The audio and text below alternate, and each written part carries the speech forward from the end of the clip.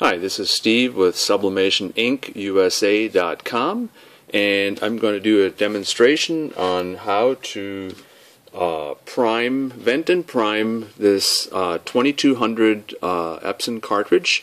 This is a refillable cartridge and can be reused over and over.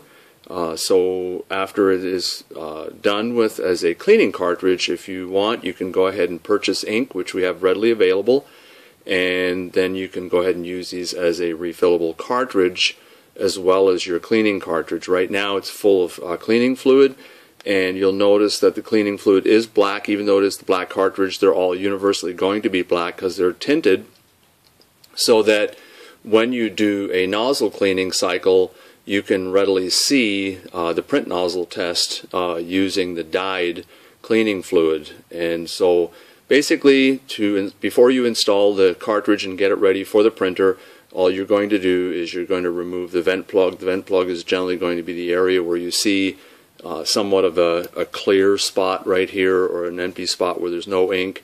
You're going to take the rubber plug that is in the cartridge, you're going to take that out because the cartridge needs to be vented to the outside air. And there we go, cartridge is vented now, and now you can go ahead and take the provided syringe and using the plastic tip you're going to oops we got the wrong tip here. Hang on one second. We'll get another all right here we go. Now we got the correct one. This is a slightly smaller tip the correct tip. And you're going to simply insert this through the plastic membrane. Just push it straight in just like that. Turn it a little bit. And then you'll notice in order to be able to prime the cartridge what you're going to want to do is the syringe currently is coming at 90 degrees straight out.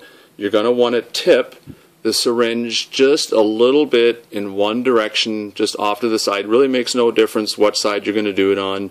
You're going to pull down, and then when you get a flow of cleaning fluid, there we go, a couple of drops of cleaning fluid just came into the syringe. We're going to just go ahead and we're going to undo this, and there we go. It's ready to go you can now go ahead and install this cartridge into the printer. The uh, hole is vented, the vent hole is open, which is very important. That must be done uh, before priming, and then you can go ahead and install this one. Each cartridge has to be done the same way, and you must run a complete uniform set of the cleaning cartridges for this to work. We generally recommend that you install the cartridges and then wait about 15 seconds go ahead and uh, then run a nozzle check and a cleaning cycle and then let the printer sit for about four hours repeat that and then go ahead and wait for about one or two days to see how things are improving. You should start to see improvement uh, by week's end. You generally will have a completely cleared printer. For printers that are really badly plugged you might want to let it go a little bit longer but usually one to two weeks max and you'll be up and running again uh, the cleaning cartridges and inks, as well as sublimation inks, are readily available at sublimationinkusa.com. Thanks. Take care. Bye bye.